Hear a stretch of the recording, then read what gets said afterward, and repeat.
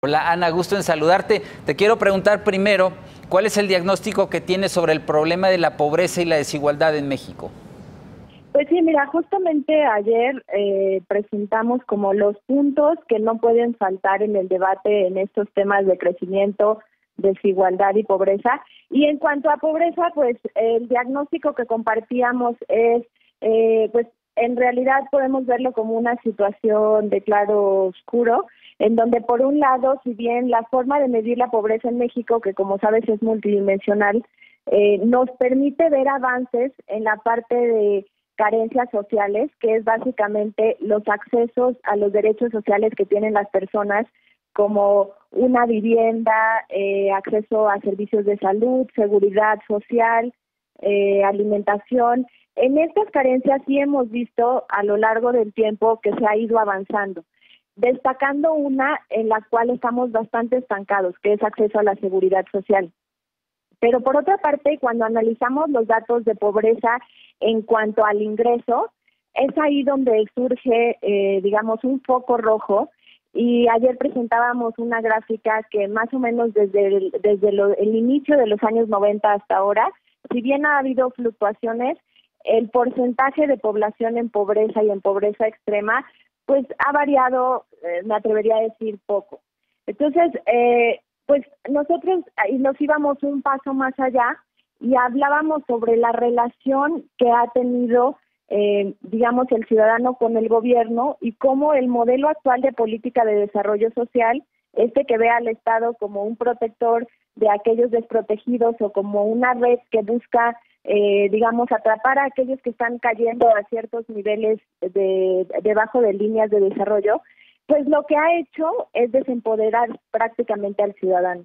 Y yo me atrevería a decir empoderado, eh, por un lado, en frente de los mismos políticos y de los burócratas que han administrado estos programas, y, y que dada la relación entre el, el, digamos, el ciudadano que tiene derecho a algún programa social y el, el, el, digamos, el servidor público, pues esa relación ha sido desigual y se ha desempoderado al ciudadano. Por eh, otra parte, se ha desempoderado también, perdón. Sí, no, no, no, si quieres concluye la idea.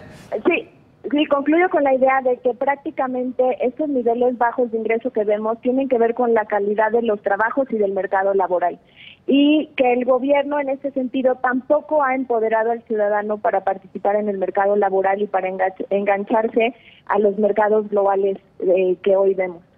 Eh, tú tienes una propuesta para acelerar el desarrollo del país a partir de la inclusión financiera, que ahora se facilita con el uso de teléfonos inteligentes y otras tecnologías, ¿no? Cuéntanos.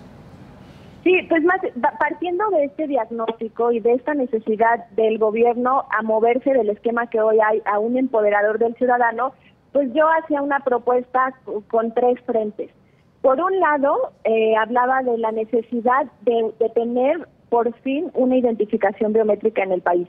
Y creo que este es uno de los temas claves que se deben de abordar eh, en el debate. Y déjame explicarte un poco. Hoy en día, si bien tenemos sistemas de identificación fragmentados, el más grande es el de el que tiene el Instituto Nacional Electoral, Hacienda tiene otro con la piel, por ejemplo, CONAPO tiene otros registros y sin embargo vemos un sistema fragmentado y algunos capturan biométricos, pero de baja calidad.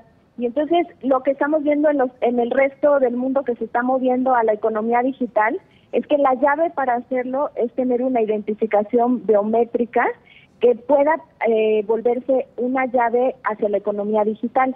Y entonces yo ligaba esto muy de cerca hacia el grave problema de inclusión financiera que hay en nuestro país hoy. Eh, hay una encuesta del Banco Mundial que se llama la encuesta Findex, lo que nos da es un índice de inclusión financiera en alrededor de más de 150 países y lo han medido en tres ocasiones, las últimas dos en el 2014 y en el 2017. Y tristemente México no solo se encuentra muy por debajo de su potencial, con alrededor del 63% de la población de adultos desbancarizada, sino que cuando vemos lo que pasaba en el 2014 y lo que tenemos hoy en 2017, hemos retrocedido. Ya somos por debajo de nosotros en la región de Latinoamérica, solamente está Nicaragua. En los últimos tres años nos rebasaron Perú, Guatemala, Honduras, Colombia y Panamá. Sí. Y entonces, básicamente yo lo, lo ligaba, solamente deja concluir eso, con un, con, digamos, esta ecuación se cierra hacia la eficiencia de los programas sociales. Los programas sociales hoy, a pesar de que se han hecho esfuerzos para que los recursos lleguen directos a cuentas bancarias de los beneficiarios, en su mayoría han fracasado estos esfuerzos y hoy solo una pequeña parte de los programas se dan a las personas directo a sus cuentas. Esto es una forma fácil y directa de empoderar a las personas y de empoderarlos frente a, digamos, a los servidores públicos y que ya dejarían de ser un intermediario entre el programa y el beneficiario y también empoderar a las personas a participar en una economía formal. Muy bien, Ana. Pues ojalá estas propuestas efectivamente sean tomadas en cuenta para este tercer debate. Por lo pronto te agradezco que las hayas compartido con nosotros. Gracias, Víctor. Y los invito a ver la presentación que discutimos ayer, está en la página del INCO y ahí viene, digamos que el orden de ideas más completo. Muy bien, gracias. Gracias.